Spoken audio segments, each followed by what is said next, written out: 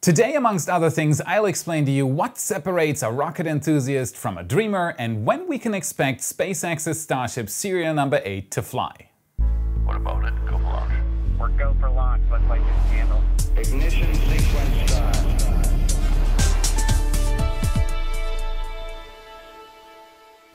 My name is Felix and I am your host for today's episode of What About It. And as always, there has been a lot going on in the space industry lately, so let's dive right in. Starship updates. Hello, Y family. We're back for yet another episode and we're closing in fast on the highly anticipated Starship flight to 15 kilometers. I got the question many times lately what my estimate is on when we might see that first real flight, so we'll see together if we can answer this burning question or at least get as close to answering it as possible. Mauricio and his plane above Boca Chica. It's a weekly thing now thanks to many who followed my call to become a flight supporter on his Patreon page. So first of all, thank you very much from me and Mauricio. Thanks to all the support he's getting, the always anticipated flyover now is a regular thing and it's here to stay. Maybe even bi-weekly if support keeps coming in and it's very much worth it. Looking at the more and more evolving work by SpaceX is a joy every week for all of us here on the channel. We're almost at 110,000 people, all united in one interest. One big family trying to understand what Elon Musk's next move will be and what the future might look like. Rocket Nerd, though, doesn't fit the description of those who subscribe to the channel. I've met many of you, and the one thing I found that unites us all is dreaming. SpaceX has sparked something very special in all of us. We dream of a very special kind of future. One where humanity is traveling between the moons and other planets. A future where we stand on the moon not just to plant a flag, take some samples and leave again. It's a future that involves houses on Moon and Mars. Heck, Elon even said he wants to build a bar on Mars. That's what we're dreaming of, and SpaceX is the one company in the world that actually might be getting closer to turning this dream that unites us all into reality. So let's take yet another look, let's see what we can dream of next and let's dive right in.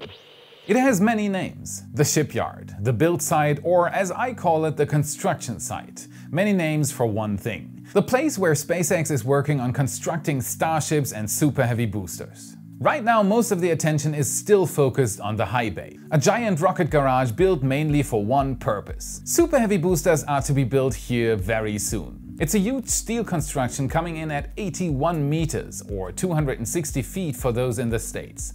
That doesn't make it the tallest high bay ever built. NASA's Vehicle Assembly Building at Kennedy Space Center is about double the height.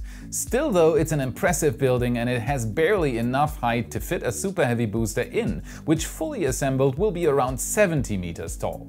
Recently, Austin Barnard tweeted a shot of the high bay and its surroundings and titled it The City to the Stars.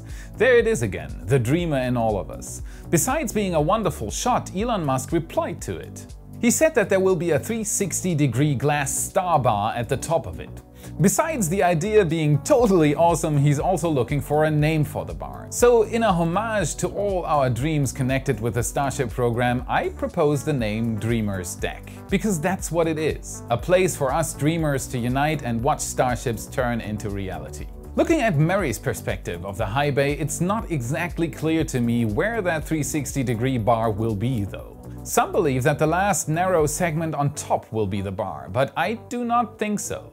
That's most likely the structure for the gantry crane to be installed inside the high bay. It also wouldn't be 360 as there are already wall elements installed. So the only place left would be on top of the already existing roof. There would need to be some sort of access as well. Stairs? Mm, too high, so an elevator would need to be installed. As small of an addition as it might sound, there will be lots of construction for it. Here's another perfect example for dreamers coming true in Boca Chica. Mauricio took a beautiful shot of the Luna Starship mock-up sitting next to the mid-bay and Starship serial number 5. It's most likely for the upcoming Starship presentation and it's supposed to show the world yet again that Starships won't just be normal rockets. They are vehicles in the real meaning of the word. Not an upper stage pushing payloads, but a Starship put into service and then operating for a long time. Another item at the same site has recently sparked a lot of discussion.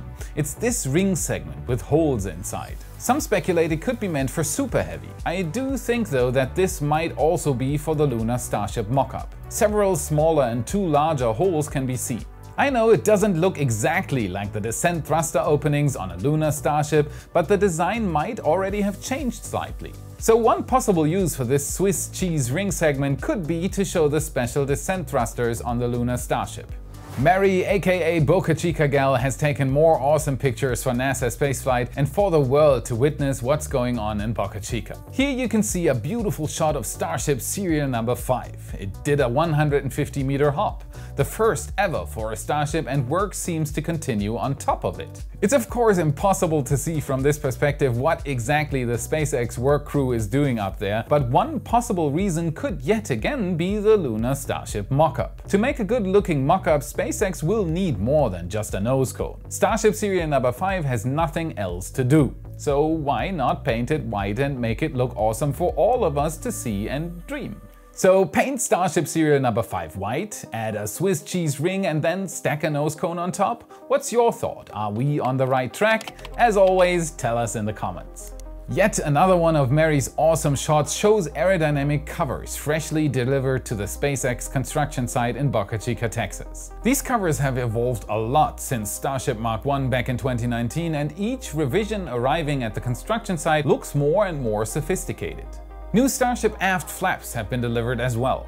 These might already be for Starship serial number 9, waiting at the mid-bay for further assembly work. On episode 126, I featured this picture from Nomad from the NSF forums, and I asked you what you think about the bracing on the left side of the hull. I got tons and tons of replies and talked to quite a few people. First of all, thank you very much for actively helping me with my work. In general, I love the discussions in the comment sections of my episodes every time. There are so many smart people watching my episodes. I am honored. After reading tons of comments and getting even more help from some personal discussions with you, I think the most plausible explanation is an alignment bracket. To be able as precisely as possible mount the aft fins on Starship prototypes, SpaceX seems to have come up with this bracket-style apparatus. Let's see if we were right. Flaps are on site and it shouldn't take long until workers show us exactly what they'll do with them. Now let's as always switch to the launch site again. All eyes right now are on SpaceX's Starship serial number 8, rightfully so. It's closing in on a 15 kilometer flight. Something the world hasn't seen yet, and it will most likely draw the attention of the world as well. The nose cone has recently been stacked, but work still seems to be going on. After the recent static fire, Raptor engines have been switched out. There's no official word yet, but there must be some data output from Raptor Engine 39 that SpaceX didn't like. So they put in Raptor Engine 36 instead and we're back up to three engines. So this all is to be taken with a grain of salt because there can always be complications, but what is the timeline from now on and when can we expect the 15 kilometer flight? Next up and in progress right now is final assembly. After work is finished on the prototype, we will most likely see yet another static fire. SpaceX will want to test the new engine configuration and the header tanks have not been tested yet either. Let's real quick cut our virtual Starship open and see where the header tanks are. Located on the common dome right between oxygen and methane tanks and in the very tip of the nose cone, they hold an extra bit of fuel and oxidizer separated from the main tanks. This fuel is needed for landing burns. The burn needs to be started in a horizontal position to initialize the belly flop maneuver to reorient the Starship for landing. If the engines at this point would draw fuel and oxidizer from the main tanks, which are almost empty from liftoff and ignitions in orbit, the risk of having an interrupted fuel flow would be very high. This is why SpaceX installed the header tanks. They are separated and much smaller tanks providing only the fuel and oxidizer needed for the landing maneuver. So a static fire testing the header tanks is very likely. After this, Starship serial number 8 in theory would be ready for the big moment. All this can in theory be done in a few days. As of recording the episode, test dates are set for October 28th, 29th and 30th. Two longer windows with 15 hours each and one smaller test window on the 30th with only 6 hours. We're back at daylight testing again for now. SpaceX recently came to an agreement with Cameron County to reduce interference with the public and shift testing hours into the night. These three tests though are set for day hours again. My guess is that we'll see the second static fire on these three days. SpaceX will not want to wait long after the static fire is finished to not let the prototype sit in the open unnecessarily long, so it's fair to say that a flight most likely will happen within the next week if nothing unforeseen happens and no extra complications occur. Now, as a finisher, let's dream a bit more, shall we? Like the episode so far? Then make sure to subscribe, hit the like button and consider becoming a patron to give some vital support. Your support makes all this possible in the first place. And if you want to show the world that you're a fan of What About It and Rockets, check out our merch store and dress differently. It's full of designs made to fill your closets and drawers with awesome shirts, hoodies, zippers, jackets, space caps, cups, bags, you get the idea. Every sale supports the channel, links are in the description. You rock! Looking at this extremely nice picture taken by Mauricio on October 23rd, the redesign process the launch site is undergoing right now becomes more and more visible. I've been talking about this for a while now and results are visible everywhere. In the center of the launch site, right between landing pad and test stands, more and more concrete marks the vanishing of the famous dirt hill. Everything is rapidly being turned into a permanent launch complex. Once the orbital launch mount is finished, the test stands will likely vanish and make room for larger buildings needed at the site for maintenance and as a shelter in case bad weather sweeps in from the Gulf. Looking further to the left, we arrive at the orbital launch mount and its surrounding infrastructure. The new tent, a road going by and more prepared land between tent and Highway 4. I got a few comments on my last episode that received a lot of likes concerning the tent. Many do believe that it might just be for the Starship presentation. I still don't think so, but it definitely is possible. Right now I think it's a manufacturing tent to be able to better build the orbital launch mount next to it. Later, the foundation might be used for a crane to stack starships on top of super heavy boosters. What's interesting to see is the new road next to it. What will SpaceX build here? What are they up to? Last but not least, the pipe connection between Fuel Farm and Orbital Launch Mount is progressing nicely as well. Above Starhopper in this picture you can see the fuel lines in the ground including access hatches in form of large concrete boxes in the ground. Looking at another picture of the orbital launch mount itself, more of these access hatches can be found on the ground next to it. It's hard to say when the pipe connection will be finished, but SpaceX is working relentlessly towards the goal. Today's episode is brought to you by the Ridge Wallet. It's light, sleek and industrial, it doesn't fold or awkwardly bulge in your pocket, and it seriously changed my whole pocket situation. So much for the official message. Ridge asked me to try out their wallet for free and if I'd like it to show to you what I like the most. I gave it a try. That was 8 weeks ago.